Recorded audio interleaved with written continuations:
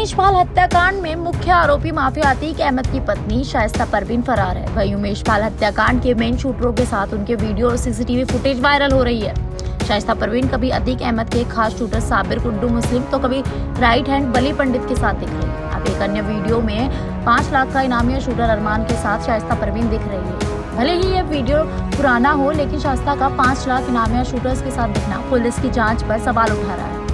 इससे यह साबित होता है कि सभी फरार पाँच लाख इनामिया शूटर्स अतीक अहमद ही नहीं, बल्कि उनकी पत्नी शाइस्ता परवीन के इशारों पर भी काम करते वीडियो में शाइस्ता परवीन के बॉडीगार्ड की तरह रोल अदा करते हुए सभी शूटर्स दिख रहे हैं। जानकारों का कहना है कि यह वीडियो संभवतः जनवरी फरवरी का ही है। जब शास्ता परवीन बसपा की सदस्यता को लेकर महापौर प्रत्याशी के तौर पर जनसंपर्क कर रही थी। वीडियो में माफिया अतीक की पत्नी डोर टू डोर प्रचार में जुटी दिखाई दे रही है। प्रयागराज पुलिस ने शाइस्ता परवीन पर पचास हज़ार का इनाम घोषित किया है। शाइस्ता परवीन उमेश पाल सहित दो सिपाहियों की हत्या में आरोपी साजिशकर्ता में नामजद है।